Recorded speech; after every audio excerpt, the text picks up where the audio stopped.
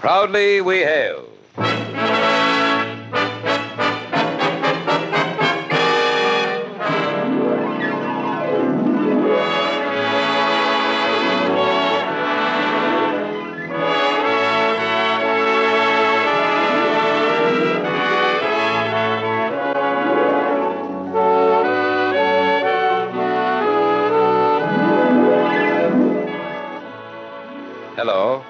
Season's greetings to everyone. Welcome again to Proudly We Hail. We're especially pleased to present our Christmas program, an original play entitled A Story for Christmas.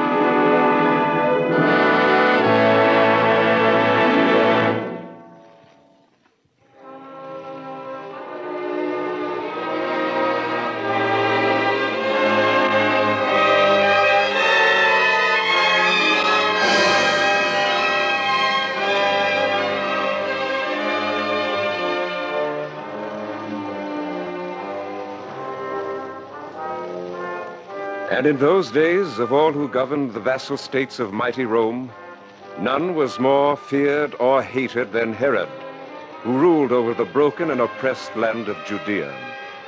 Cunning was the flame that burned in his heart, and cruelty the fuel that fed its insane designs.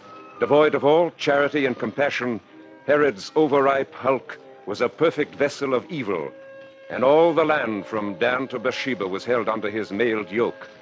His spies were many, and those who dared preach or cite insurrection were soon ferreted out and put to devilish and inhuman torture. And so it was that Jairus of Ptolemais and his young brother Ethan were brought before Herod the king. So these are the rogues. Even so, noble Herod. Carrion, meat for the jackals. So now, Jairus of Ptolemais, you see the misfortune your plotting has begotten you.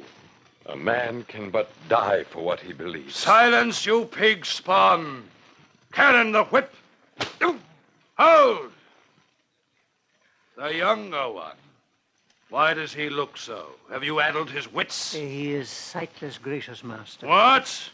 You put out his eyes, no, ere I. no, sire, no. He was so when we took them. I, I questioned this Jairus, and he said the young one has been sightless since birth. So, even blind whelps have taken to plotting against me. Since the pleasure of removing his eyes has already been denied me, I'll have to be satisfied with the removal of his tongue. He's but a youth and innocent. Does mighty Herod fear a stripling? Silence! Scum of the gutter! Silence! Hold, Karen. Waste not your strength. The whip has little effect on such an ox of a man. I would offer him a more burning lesson. Have the fire brought. At once, most noble king. With fire I shall break you, brave Jairus of Ptolemais. I shall wash you shrivel. I shall listen to you shriek for mercy. And when I have broken you and your sightless brother, I shall hang you by your heels from the city walls, as a lesson to all who would oppose the rule of Herod. Well, what is it? Why have you not done my bidding? Great Herod, the three wise men of the East whom you have been seeking await without. They come to pay homage. Hmm, excellent. Most excellent. We shall receive these kings of Chaldea and learn what they know. And what of these two, sire? Return them to the dungeons. There will be time aplenty to attend them after we have entertained our illustrious visitors. Take them back to the dungeons. Guard them well.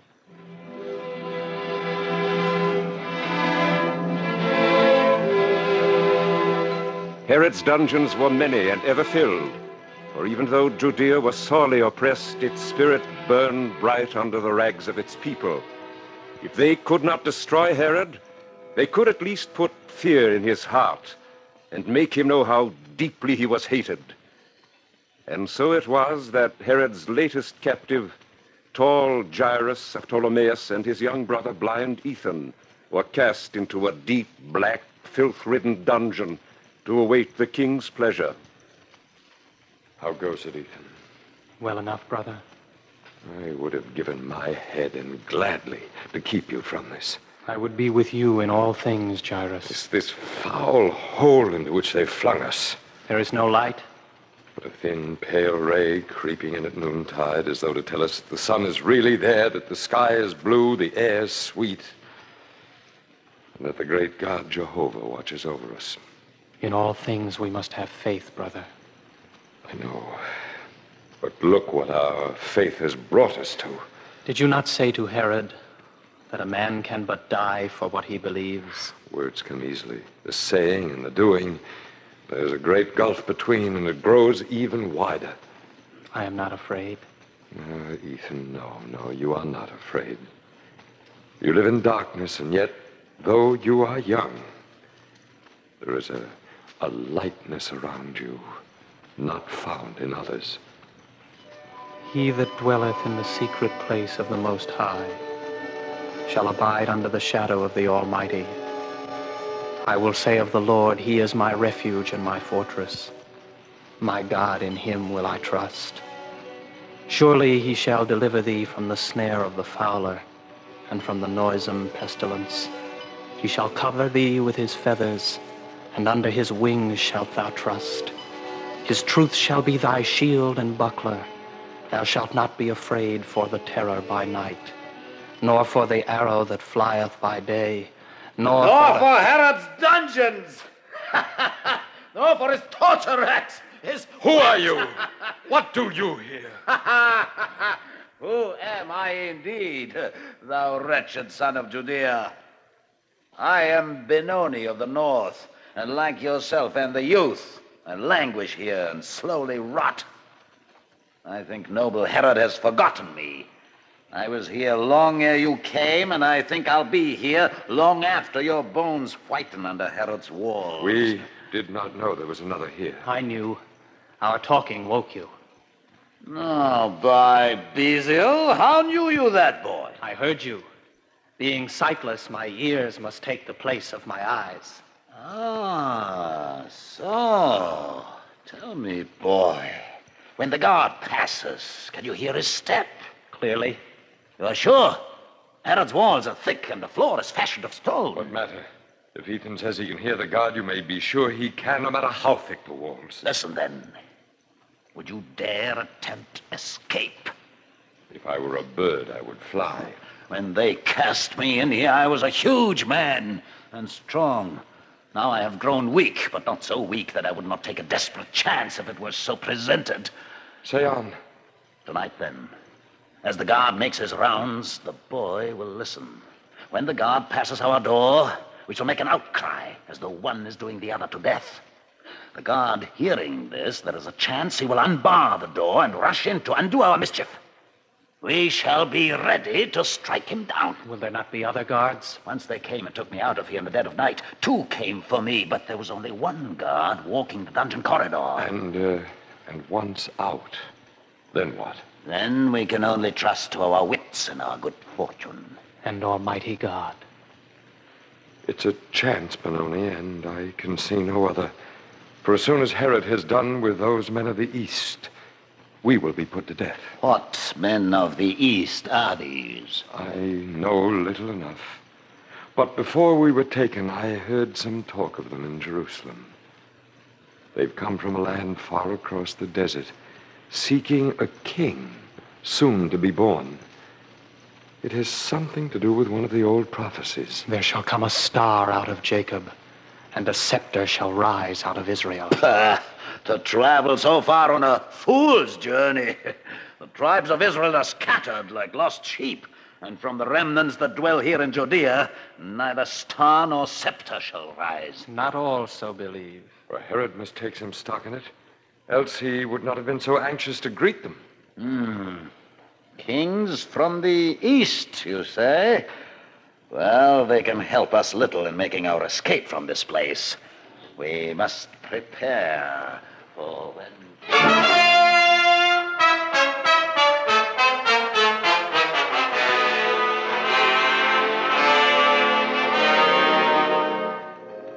As Jairus had said, Herod, whose spies had brought him word of the Magi, was most anxious to greet and question them. For Herod wanted no competition from another in his kingdom, even should it be a newborn babe. My court is most honored by your presence, most noble kings of the East. And we, in turn, great Herod, are also honored by your welcome. Now that you have rested and dined, perhaps you would tell us what brings you on so long a journey. We follow a star. A star? and why follow you this star? For it will lead us to him whom we seek. And whom is it you seek, men of the East?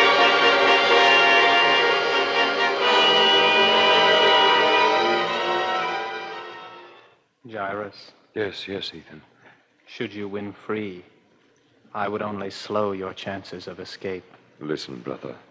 I shall not escape without you, so put such thoughts from your mind. The boy's right. Hold your tongue. We're all in this together or not at all. Without Ethan, we could not even attempt freedom. He shall be our ears, and I shall be his eyes. As you wish. But once free of this dungeon, we go our separate ways. Well enough, but. Uh, Your places quickly. The guard comes. Be sure to stand clear, Ethan, when he enters. You for the throat, I for his weapons. See that he makes no outcry. Be still. Now. Down! Tear your throat out! I'll save Herod the trouble of killing you! I no for the law. I meant no. Here now, here now, you what are you? There. Sleep well. Would you... Why did you murder him? What would you have me do? Kiss him good goodnight? But we, we Enough. Could have... I have his knife and sword, and I shall have his armor, too. If you would leave here, leave now, ere I change my mind and let you keep him company. Ethan, do you hear anyone? No one comes. Then take my hand, and we shall try to make our way out of here. The Lord God shall guide our steps. Be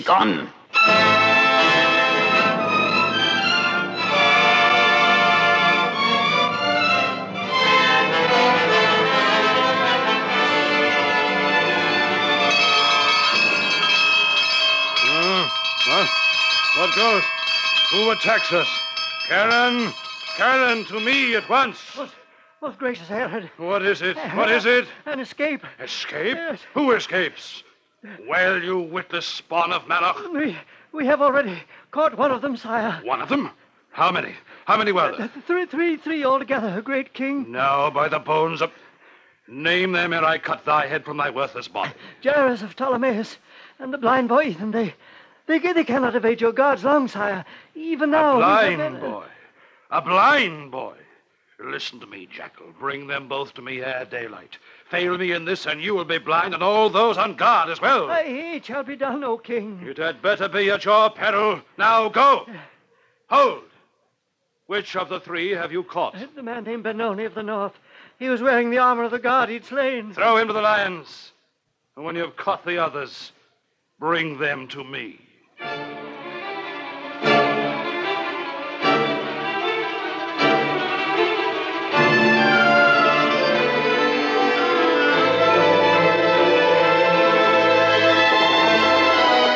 Herod's palace guards and his soldiery numbered more than ten score. Let loose upon the trail of Jairus and Ethan, they split into companies, horsemen following the roads and footmen combing the countryside. Like a large, well organized pack of hounds, they sought out their quarry. Find the true they must, for Herod's threat was no idle jest hanging overhead. And so it was that the hunters glanced nervously from time to time toward the east, praying that the first sign of dawn would be delayed until their work was successfully accomplished. The, the hounds are in full cry. Is it safe to stay under this bridge, Jairus? It's safe for us nowhere in Judea, brother. We are out of Herod's dungeon. We can get out of his kingdom. You realize that it was a miracle we were able to win free of the palace before they knew we had gone. The Lord watches over his, Jairus. I must so believe, otherwise, 'tis sorcery. Are you ready to travel?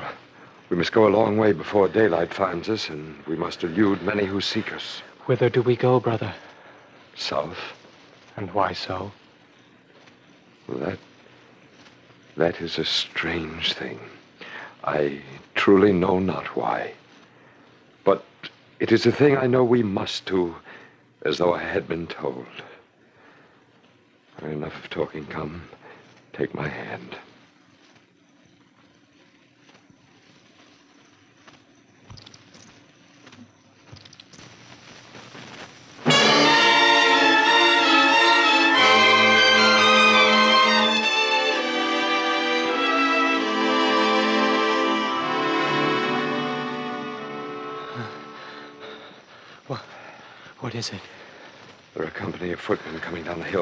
Us. And down, down there along the road, there are horsemen. And we are caught between them? Even so. There is no hiding place here. The rocks conceal us now, but when the footmen draw closer, they will see us. It is full daylight? The sun has risen. And it is a beautiful day. A beautiful day to die. Perhaps the horsemen will ride off. They do not know we are here. They, they've stopped by a house. Some are giving their horses to drink at the stream, and some are talking with the people of the dwelling. There is no way in which we can turn. Upward to heaven, perhaps. My thoughts are ever there, Jairus. The ways of the Lord God are many and many, Jairus. We know not. Hold! Do they come so soon?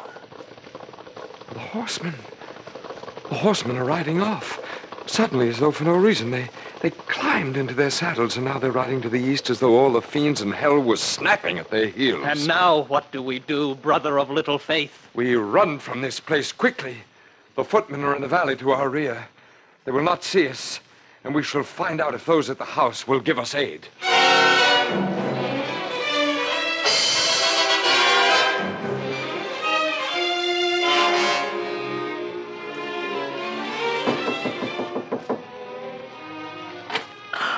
Good woman, we mean no harm. You are the ones they are seeking. I. Come in quickly. They were just here, but they are gone now. We. We saw them from the hill. What, what made them ride off in such haste? I know not. One moment they were standing about. Suddenly one of them shouted and pointed to the east, and then they were gone. And I say, may they ride far from this place. Come, sit. You must be weary. I shall fetch a skin of goat's milk. My lady, you are most kind. Foot soldiers will be coming soon, and. And I when- know a place to hide you well. There is danger to yourself. I have no fear of them. You are here alone? No, there is my father who is old and two younger sisters. They're in the courtyard preparing for the journey. Journey? Oh, which way do you travel? Caesar Augustus has decreed that all must register for the tax. We go to the city of David, called Bethlehem. Jairus, I hear men approaching. Come, follow me quickly. It was good fortune that led us to you. Your name? I am Miriam, daughter of Enoch. Uh, watch your head. The foot soldiers are without, Jairus. Hurry. The steps are narrow, but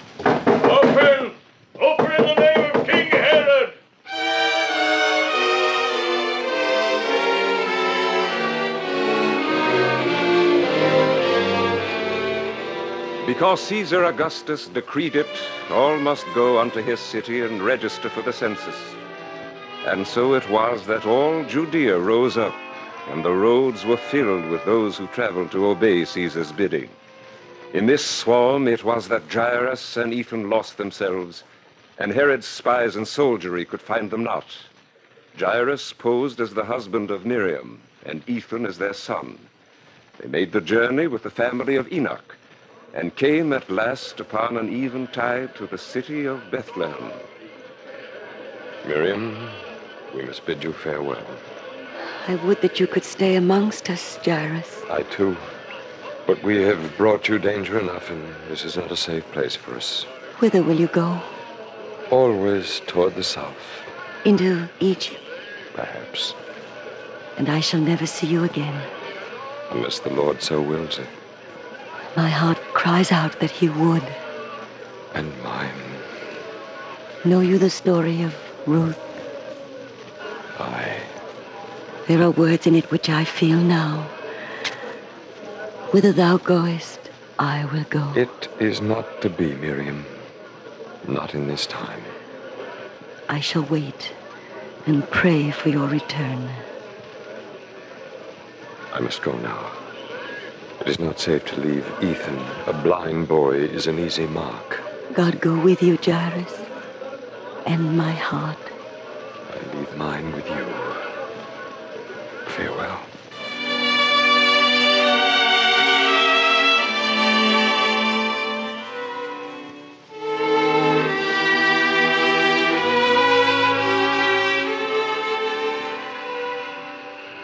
Is it, Jairus? We have missed the trail in the darkness.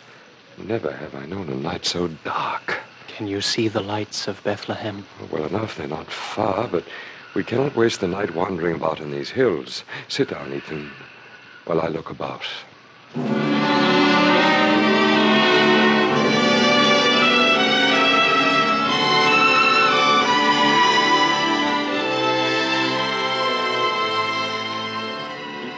Ethan, there is a campfire on the hilltop ahead. Soldiers? I think not. Why would there be soldiers in these hills? Who then? I'm not sure, but I thought I saw a flock of sheep. And if so, the shepherds will know where the trail lies. Let us go to them then. Careful, we are not sure who they are or what they. Are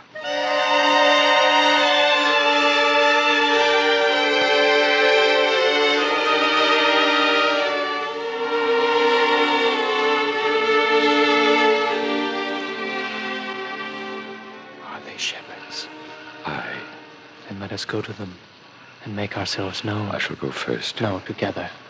They will not harm us. Ho there! Good shepherds! Who calls? What do you here? We are travelers who have lost the trail. May we come to your fire? You may approach.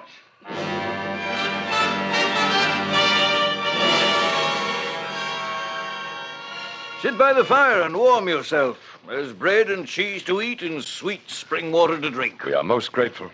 You travel the trail in darkness? We sought to, but lost our way. It is not safe to travel in these days after sundown. And for some, it is not safe any other time. Eat, lad, eat. I.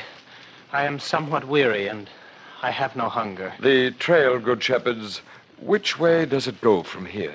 In the valley there, but half a league below, you will come onto it. It skirts the hills. Lad, you. you cannot see. I am blind. And yet your eyes shine brightly in the firelight. My sight is in what I hear, what I can smell and touch, and that which I believe. And suddenly I believe that this is not a night like others. I know not why, and yet I know it true. It fills me, and I am like one grown faint. You must lie down, Ethan. You are over weary. Do you not feel it? It is an odd thing.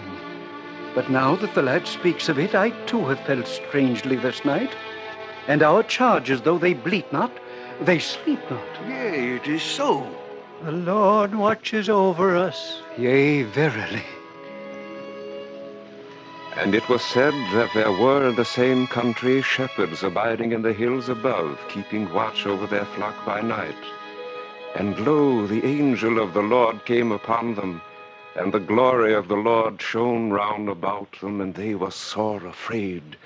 And the angel said unto them, Fear not, for behold, I bring you good tidings of great joy, which shall be to all the people. For unto you is born this day in the city of David a Savior, which is Christ the Lord. And this shall be a sign unto you. Ye shall find the babe wrapped in swaddling clothes, lying in a manger. Glory to God in the highest, and on earth peace, goodwill toward men.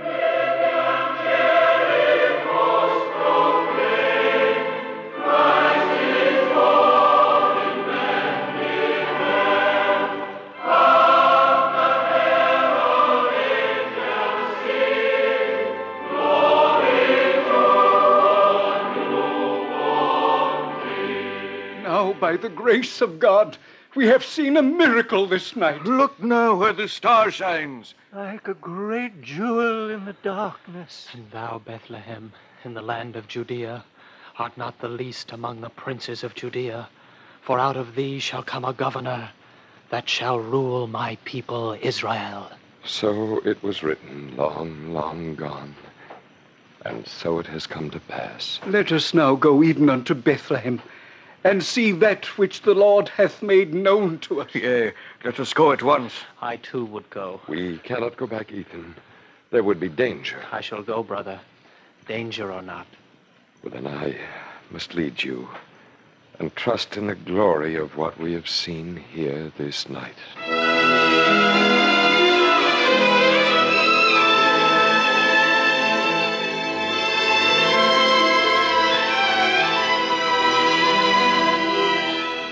And so it was that the shepherds came down from the hills and sought he who had been proclaimed Savior from heaven on high. And the star led them to a manger, where they found him wrapped in swaddling clothes, even as the angel had said. And they knelt and worshipped the child, and called him Emmanuel, which means God with us. Jairus, Yes, Ethan. it's going to be a fine day. A new day, perhaps. Yes, a new day. And the sun rising off the land like a great ball of fire. What we witnessed, what we saw and heard. Ethan. Ethan, what did you say about the sun? I said it looks like a great ball of fire. And the land rolls away to meet it. And there above in the sky glides a hawk. Is it a hawk? I- Ethan! You can see!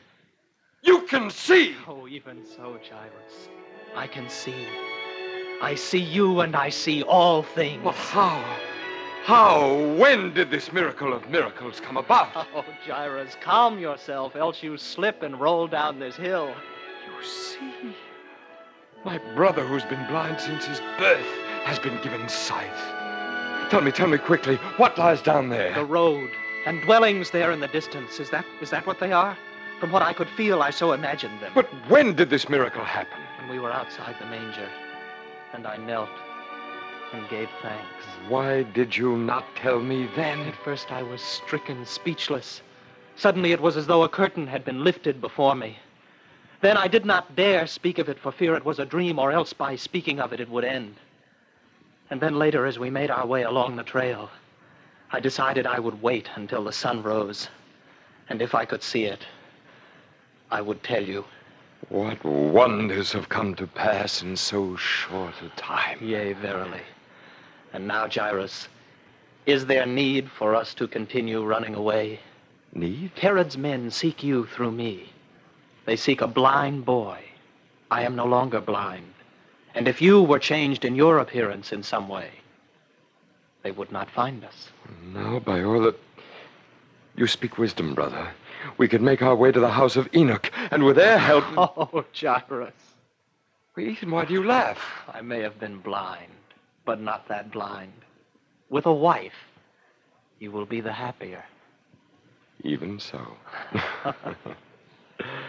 Ethan, we have been thrice blessed, and more than thrice blessed. Let us kneel and give thanks.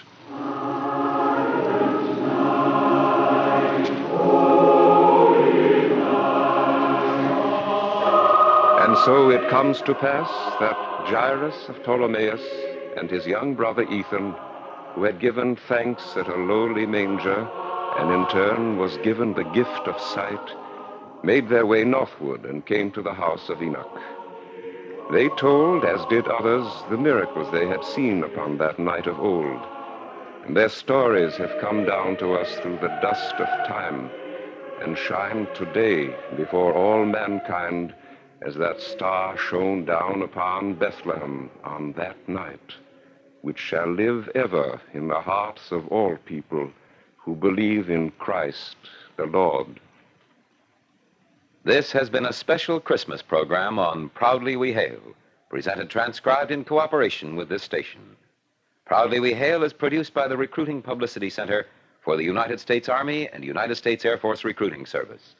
This is Kenneth Banghart speaking and inviting you to tune in this same station next week for another interesting story on Proudly We Hail.